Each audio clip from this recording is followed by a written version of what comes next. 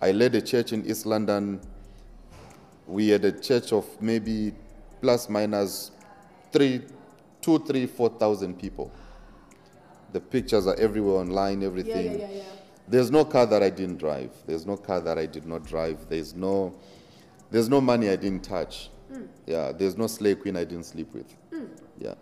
And were they at the front? In the front? There's no, there's nothing that I, there's no type of drug that I didn't take.